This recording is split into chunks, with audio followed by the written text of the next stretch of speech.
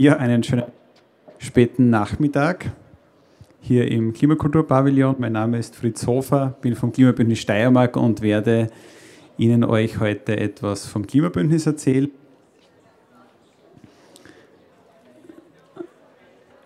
Und darf ich mal für die Einladung sehr herzlich bedanken. Der Klimawandel, die Klimakrise ist im Moment ja in aller Munde. Der nächste IPCC-Bericht ist gerade herausgekommen und hat uns wieder gezeigt, wie dringlich die, Klima, die Klimakrise ist und wie stark fortgeschritten der Klimawandel bereits ist. Ich habe einige Folien dazu auch noch mitgebracht.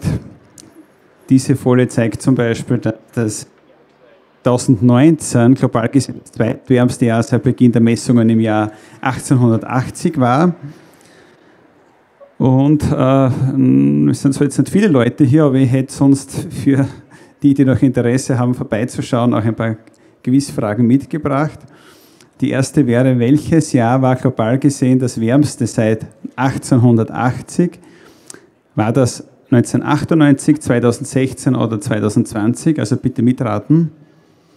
2016. 2016, da hat wer besonders gut aufgepasst irgendwo oder mitgelesen, es stimmt.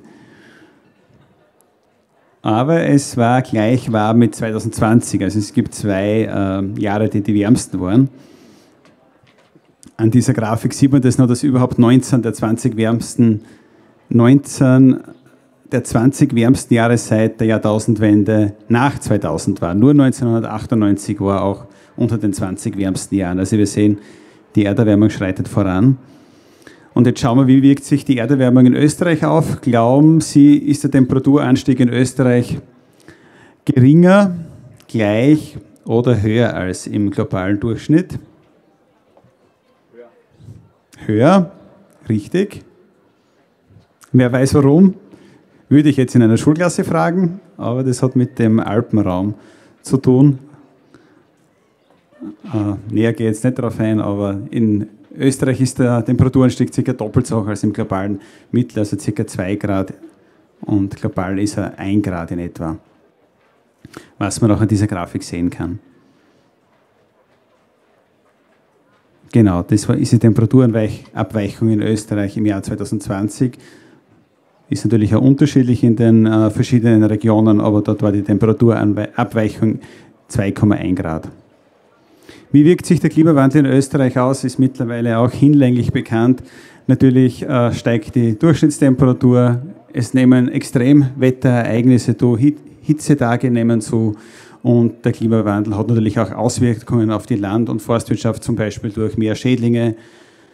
Spätfrostereignisse häufen sich äh, seit einigen Jahren und die Gletscher gehen zurück, wie man auch an diesen Bildern sehen kann. Der größte Gletscher in Österreich ja, ist massiv zurückgegangen in den letzten Jahren und es ist nur mehr sehr wenig übrig geblieben von der Basterze. Hier sieht man auch ganz gut einen Vergleich, äh, welches Eisvolumen hier auch verloren gegangen ist. Im größten Vergleich der Stephansdom mit 136 Meter Höhe und das ist wesentlich, wesentlich höher. Ein paar aktuelle Fotos von Unwetterereignissen der letzten Wochen, Überschwemmungen, Hagel, durch in ganz Österreich. Die Fotos sind aus der Steiermark. Weltweit natürlich haben wir gerade mit ähm, Waldbränden zu kämpfen. Nicht nur in Europa, auch in Asien, in Sibirien, in, in Kalifornien wüten schlimme Waldbrände und äh, das Arktis-Eis schmilzt auch mit äh, großer Geschwindigkeit. Und wir müssen dringend Klimaschutzmaßnahmen umsetzen, damit wir die, die Erderwärmung bei 1,5 Grad stoppen können oder unter 1,5 Grad begrenzen. Darauf hat man sich 2015 bei der Klimaschutzkonferenz in Paris ja geeinigt. Und je schneller wir handeln, desto weniger drastisch müssen wir dann die Treibhausgasemissionen auch reduzieren. Und äh, uns beim Klimabündnis ist es auch wichtig, die globalen Zusammenhänge darzustellen und auch die, die ungleiche äh, Verteilung der Emissionen weltweit. Und dazu komme ich zur nächsten Quizfrage. Was glauben Sie, wie viele Menschen haben weltweit keinen Zugang zu elektrischer Energie? Sind das 120 Millionen, 900 Millionen oder 1,2 Milliarden Menschen? Vielleicht die junge Dame mal da im Vordergrund. 900 Millionen wird getippt. Es sind sogar 1,2 Milliarden Menschen, also rund ein Sechstel, Siebtel der weltweiten Bevölkerung hat keinen Zugang zu elektrischer Energie, sprich zu Strom. Daran sieht man schon, wie ungleich auch der Energieverbrauch und im Zusammenhang die Treibhausgasemissionen verteilt und emittiert werden auf unserer Erde. Das zeigt auch noch dieses Bild, die Erde bei Nacht, wo man sehr gut sehen kann, dass die Industriestaaten Europa, Nordamerika, Japan, Teile von Asien hell erleuchtet sind, wohingegen zum Beispiel große Teile von Südamerika oder Afrika sehr dunkel sind. Also diese Länder verbrauchen sehr wenig Energie, tragen wenig zum Klimawandel bei und haben aber sehr stark unter den Klimawandels zu leiden. Wir vom Klimabündnis versuchen, äh, Gemeinden zu unterstützen im Bereich Klimaschutz und beraten sie, welche Maßnahmen sie umsetzen können. Und Gemeinden können einerseits Klimaschutzmaßnahmen ergreifen. In den letzten Jahren sind aber auch Klimawandelanpassungsmaßnahmen immer wichtiger geworden. Also in diesen beiden, bei diesen beiden Säulen äh, beraten wir Gemeinden. Es gibt neben dem Klimabündnis noch andere kommunale Klimaschutzprogramme in Österreich, wie zum Beispiel äh, die energieeffizienten Gemeinden, die fünf Gemeinden die Klima- und Energiemodellregionen. Dann gibt es noch äh, mittlerweile auch die Klimawandel-Anpassungsmodellregionen.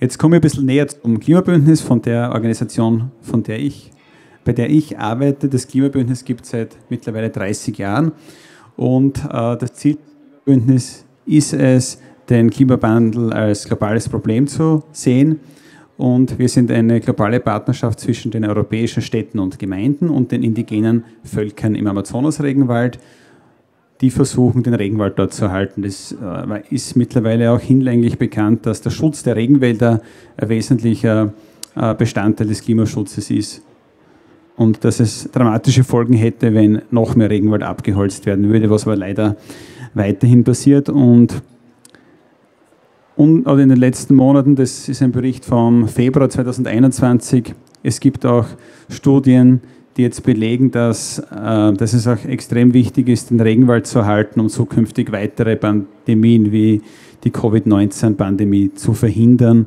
weil eben der Regenwald eine unglaubliche Artenvielfalt in sich trägt und wenn man die zerstört, ist es wahrscheinlicher, dass Viren von den äh, Tieren dann auf den Menschen noch überspringen. Hier einige Bilder von der Partnerregion, die die Klimabündnisgemeinden auch finanziell unterstützen. Also das ist äh, weitgehend unberührter Regenwald und die indigenen Völker dort leben seit vielen Tausenden von Jahren im Einklang mit der Natur und mit dem Wald. Die Hauptverbindungswege dort sind die Flüsse, also es gibt dort keine Straßen. Die Menschen äh, schlafen in Hängematten und ähm, die, wir vom Klimabündnis organisieren auch regelmäßige Erfahrungsaustausch, Austauschtreffen, Reisen zwischen den in, Vertretern dieser indigenen Völker und, äh, und Vertretern eurer österreichischen Klimabündnisgemeinde, wo es darum geht, dass man voneinander lernt, weil es ist nicht so, dass nur sie von uns was lernen können, sondern vor allem wir auch viel von diesen Menschen dort lernen können, weil sie eben wissen, wie man im Einklang mit der Natur lebt, ohne sie zu zerstören. Ja, eine, eine Quizfrage zu den äh, indigenen Völkern im Amazonasgebiet. Was glauben Sie, ist die wichtige Nahrungsquelle der indigenen Völker am Rio Negro? Ist es Maniok, Fisch oder Hühnerfleisch? Vielleicht einmal wieder der junge Herr in der Mitte. Richtig, sehr gut. Maniok, genau. Das ist ähm, eine, eine Wurzel, man kann es vielleicht vergleichen mit, ähm, ähnlich als wie diese Topinambur-Wurzel vielleicht, oder ähnlich wie eine Süßkartoffel, ist aber eigentlich giftig und man muss sie speziell zubereiten, damit sie dann wirklich genießbar ist, aber die indigenen Völker in dieser Region essen sie zum Frühstück, zum Mittag und abends in unterschiedlichen Varianten. Man muss sie daran gewöhnen. Also ich war selbst 2013 dort und ist etwas gewöhnungsbedürftig, weil es wenig Geschmack hat, man muss ordentlich würzen, aber Man gewöhnt sich daran. Einige wenige Zahlen zu unserem Klimabündnis-Netzwerk. Österreichweit sind über 1000 Gemeinden mittlerweile Teil unseres Klimabündnis-Netzwerkes und auch Betriebe und Bildungseinrichtungen können sich dem Klimabündnis anschließen und sich zu Klimaschutzmaßnahmen bekennen. Ja, was bieten wir jetzt den Klimabündnisgemeinden? Also wir versuchen sie äh, zu beraten, Bewusstseinsbildung zu betreiben. Um, haben wir unterschiedliche Vorträge, Filmabende im Angebot, äh, auch Ausstellungen zum Thema Klima, Klimakrise, Klimawandel. Wir bieten Lehrgänge, Weiterbildungen für Gemeindevertreter, wie zum Beispiel den Lehrgang Kommunaler Klimaschutzbeauftragter, wo wir erst im Juli äh, mehr als 20 steirische Gemeindevertreterinnen zu kommunalen Klimaschutzbeauftragten ausgebildet haben. Wir führen auch Kampagnen durch, wie zum Beispiel die Europäische Mobilitätswoche, wo es darum geht, Gemeinden zu beraten und zu motivieren, auf umweltfreundliche Mobilitätsalternativen zu setzen. Zum Beispiel auch ähm, vor Schulen Maßnahmen zu unternehmen. Das ist auch ein, ein Problem, das uns äh, sehr häufig begegnet, der Eltern-, Hol- und Bringverkehr vor den Schulen. Absolut, vor manchen Schulen gibt es richtiges Verkehrschaos und hier versuchen wir Lösungen äh, gemeinsam mit den Gemeinden zu erarbeiten, um auch das umweltfreundlich in die Schule zu kommen, sicherer zu machen für die Kinder zum Beispiel. Hier sieht man auch einen, einen, einen Direktor einer Schule, der Gehzeug aufzeigt, wie viel Platzverbrauch ein Auto verursacht im Vergleich zu einem Schulbus. Das sogenannte Gehzeug ist das. Das ist der, der ähm, recht bekannte Mobilitätsforscher, der Helmut Knoflacher, was der Helmut oder Hermann Knoflacher erfunden hat. Oder zum Beispiel gibt es die Aktion, dass wir versuchen, gemeinsam mit den Schulkindern äh, Asphaltflächen, Straßenflächen in dieser Woche zu sperren. Diese Woche ist im September und einmal zu bemalen und so äh, aufzuzeigen, wie schön öffentliche Plätze, Straßen auch sein können, wenn sie mal nicht für, nur für Autos zur Verfügung stehen.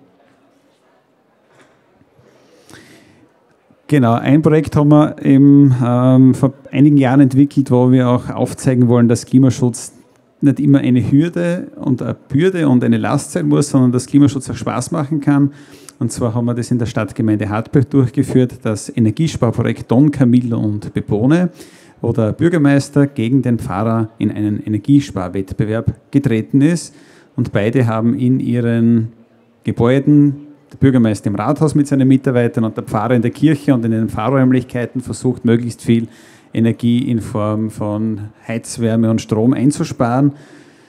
Über, also das war im Jahr 2019 und es war schön daran, schön zu sehen, wie alle mit Begeisterung mitgemacht haben und beide, beide äh, Streitparteien, sage ich jetzt einmal, haben Erfolge erzielt und es ist in beiden Gebäuden gelungen, Energie einzusparen, mehrere tausend Kilowattstunden ja, also ein, ein, ein, sehr nettes Projekt, das man durchaus auch in anderen Gemeinden und in anderer Form um, umsetzen könnte und so ohne Verzicht wirklich Energie einsparen kann.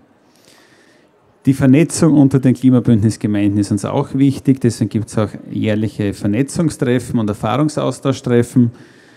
Wir versuchen unterschiedliche Themenbereiche ähm, anzugehen, wie zum Beispiel ein ganz wichtiges Thema ist die Raumplanung und ähm, äh, ein Untergebiet der Raumplanung ist die Energieraumplanung, wo es darum geht, dass man äh, möglichst energiesparend Flächen widmet und verbaut, was, auch, äh, was nicht nur fürs Klima gut ist, sondern was auch den Gemeinden hilft, Kosten zu sparen, zum Beispiel für geringere Kanalbauten, geringere Straßen, äh, Schneeräumungskosten, weil einfach die Wege kürzer sind. Wir bieten auch unterschiedlichste Klimatipps an, die Gemeinden dann in ihre Gemeindezeitungen geben können. Hier zum Beispiel das Beispiel Energiesparen in der Küche. Wissen viele, vielleicht manche, vielleicht auch nicht, die zum Beispiel die Topfgröße an die Kochplatte anpassen, mit, mit einem Deckel am Topf kochen, das Wasser mit einem Wasserkocher erhitzen für den Tee oder fürs Nudelkochen beispielsweise. Man braucht den Backofen zum Beispiel nicht vorheizen Restwärme nutzen. Ja, ein Beispiel, wie man Energie im Haushalt sparen kann zum Beispiel. Und natürlich auch beim Kauf von neuen Elektrogeräten auf die Energieeffizienzklasse zu achten. Hilft nicht nur dem Klima, sondern auch dem Geldbörseln. Oder zum Beispiel ein Klimatipp zum Thema klimafreundlich Reisen. Dann haben wir ein, äh, kürzlich ein Projekt gestartet, gemeinsam mit der Zentralanstalt für Meteorologie und Geodynamik, wo wir alle Steirerinnen und Steirer aufrufen, Fotos und Berichte von außergewöhnlichen Wetterereignissen auf unserer Plattform www.wetterzeugen.at hochzuladen, um auch so ein, ein Archiv der, des, äh, von Wetterereignissen anzulegen. Und da darf ich Sie alle hier bitten, auch mitzuwirken und vielleicht auf Fotosuche zu gehen bei Ihren Eltern, Großeltern und uns helfen, dieses Fotoarchiv weiter zu füllen. Ganz wichtig beim Klimabündnis ist auch die Art Schulen und Kindergärten, also mit Bildungseinrichtungen. Und da haben wir im letzten Jahr aufgrund der Corona-Krise viele Angebote auch auf ein Online-Angebot erweitert. Zum Beispiel ein Online-Klimaquiz, ähm, YouTube-Videos mit Experimentieranleitungen für kleinere Experimente zum Thema Klimaschutz. Und wir sind auch mit unterschiedlichen Projekten und Kampagnen in den Schulen unterwegs.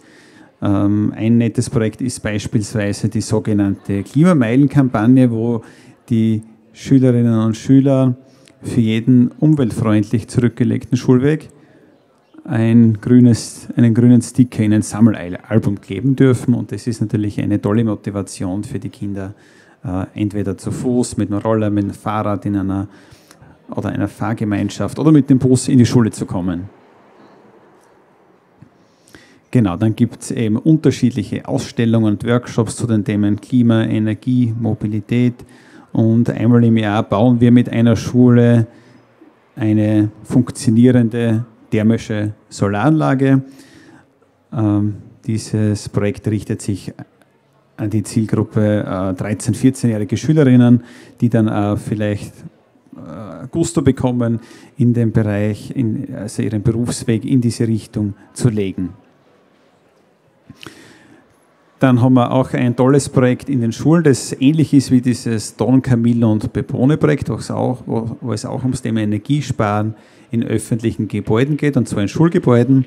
Und hier versucht man gemeinsam mit den Schülerinnen und Schülern, mit den Pädagoginnen in den Schulen, mit dem ähm, Reinigungspersonal, mit den Schulwarten, Energiesparpotenziale in den Schulen zu erheben. Unter anderem gehen da die Schülerinnen und Schüler mit einem Temperaturmessgerät durch die Klassenräume, durch die Turnsäle, durch die Gänge und messen die Temperatur, tragen sie in eine, einen Plan ein und dann schaut man, wo es vielleicht möglich wäre, auch die Temperatur zu senken.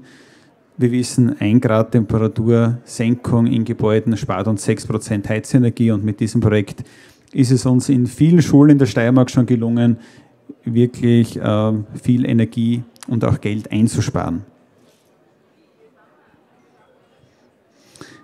Noch ein Projekt zum Thema Mobilität an Schulen. Äh, wir beraten Schulen in einem, im Rahmen eines Mobilitätsmanagements für Kinder, Eltern und Schulen. Und da gibt es zum Beispiel eine nette Aktionsidee, dass man einen Bedibus einführt an Schulen Pedibus, also der, der Schulbus auf Füßen sozusagen, wo man äh, gemeinsam mit, äh, mit Eltern, die sich dort bereit erklären, da mitzumachen, gemeinsam mit den Schulkindern in die Schule geht, anstatt mit dem Auto zu fahren. Die Kinder genießen das jedenfalls sehr. Und auch in Kindergärten sind wir steiermarkweit unterwegs im Auftrag des Landes Steiermarks und auch den Kindergartenkindern taugt das Thema Klimaschutz sehr und sie sind wichtige Botschafter auch für das Thema ins Elternhaus. Ja, wir bieten den Klimabündnisgemeinden auch die Möglichkeit, einen Online-Klimacheck durchzuführen als Einstieg, wo sie sich einmal dann ganz gut einschätzen können. Ähm, äh, und in weiterer Folge bekommen sie auch einen langen Maßnahmenkatalog an, an Ideen, die sie umsetzen können in der Gemeinde. Wer es ganz genau wissen will, für die Gemeinden bieten wir auch einen Online- CO2-Rechner an, wo man die Treibhausgasemissionen einer Gemeinde ganz genau erheben kann und entsprechende Maßnahmen auf Basis dieser Kalkulation äh, berechnen kann. Ja, soviel zu den Klimabündnisgemeinden. Jetzt ist mir noch wichtig, ein paar Worte zu, dazu zu verlieren, was jeder Einzelne zum Klimaschutz beitragen kann, denn tatsächlich kann jeder Einzelne was beitragen, auch wenn natürlich die Politik in vielen Themen gefragt ist, äh, Vorgaben zu machen. Unabhängig davon kann wirklich jeder Einzelne was zu machen. Diese Grafik zeigt noch, wo wir großen Aufholbedarf haben in Österreich. Das ist vor allem der Verkehr. In anderen Bereichen, wie zum Beispiel im Gebäudesektor, haben wir schon äh, sehr sind wir zum Teil schon auf einem guten Weg, geht natürlich immer mehr. Aber gerade der Verkehr ist wirklich das Problemfeld in Österreich, wo die Emissionen massiv weiter steigen, statt dass sie ins Sinken kommen. Und da versuchen wir mit unterschiedlichen äh, Kampagnen Lust zu machen auf umweltfreundliche Mobilität. Zum Beispiel gibt es da den Slogan, tausche drei Kilo Hüftspeck gegen drei Jahre länger leben, wenn man mit dem Radl fährt. Graz ist ja das beste Beispiel dafür, dass man mit dem Radl auch am schnellsten ist. Und ich glaube, da fällt es einem leichter, aber auch am Land gibt es, ähm, in ländlichen Gemeinden gibt es durchaus die Möglichkeit, die eine oder andere kurze Autofahrt mit dem Rad zu ersetzen. Oder zum Beispiel Tausche Stop and Go gegen Lesefluss. Man kann die Zeit im öffentlichen Verkehr sinnvoll nutzen, um die Zeitung zu lesen, um sich auf einen Termin vorzubereiten, wenn man zum Beispiel mit dem Zug von Graz nach Wien fährt. Also es gibt ähm, ja, viele positive Nebeneffekte, wenn man Klimaschutz betreibt.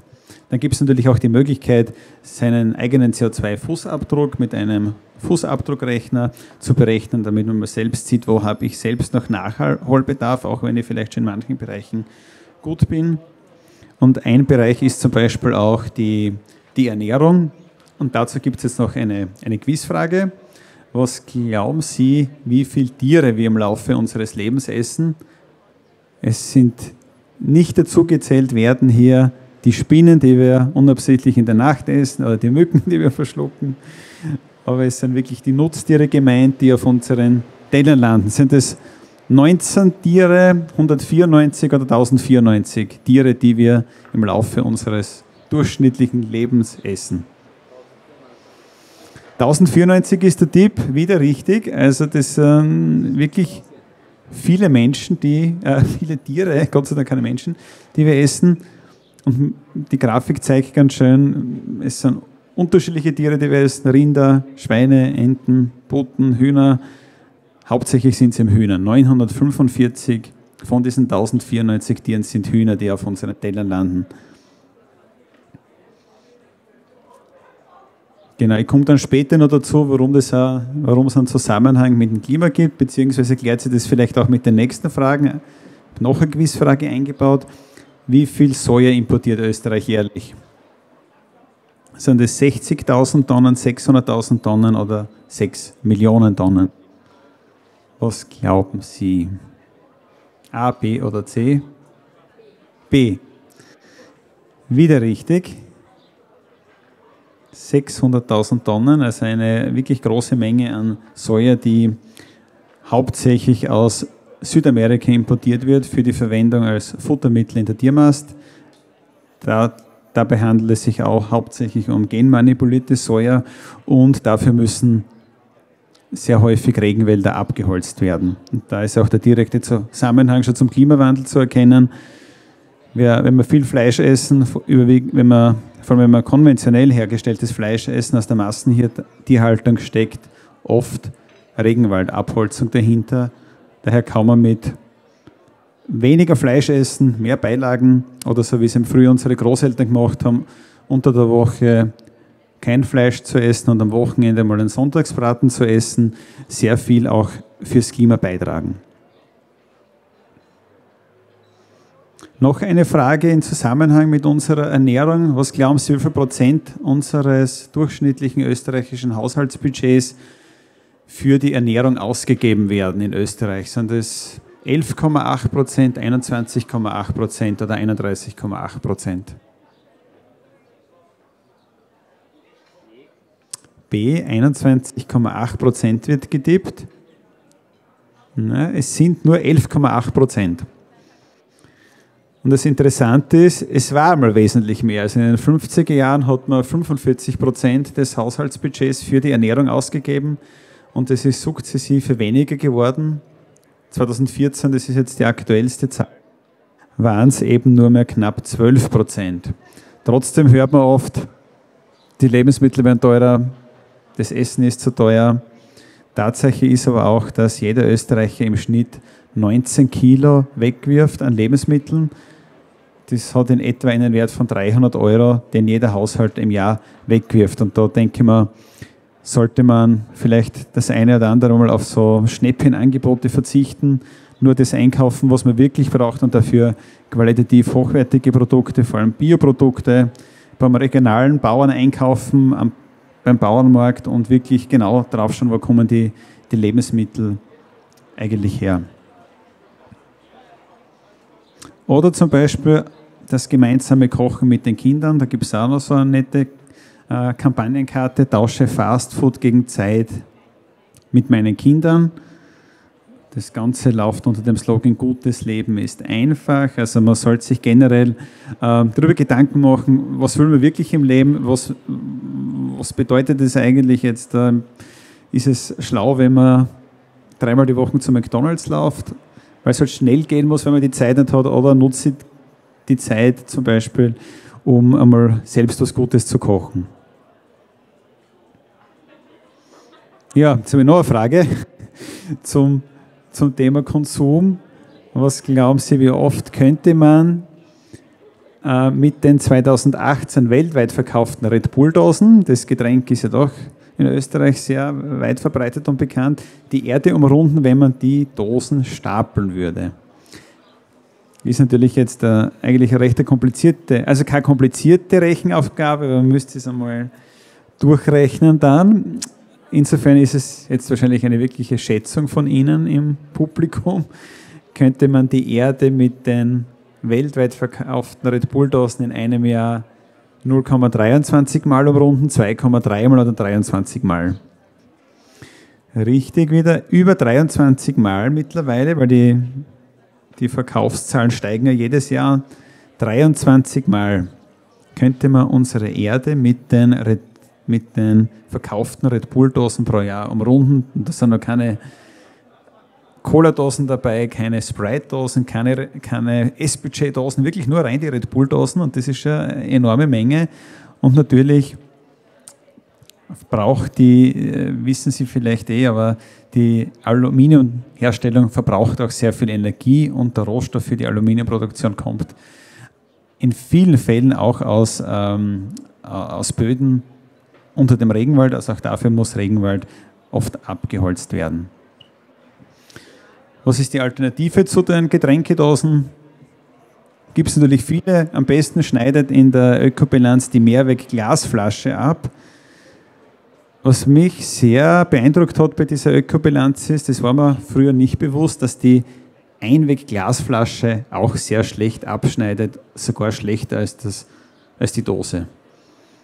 Also bitte zu Mehrwegglasflaschen greifen und nicht zu Einwegglasflaschen, wenn das möglich ist.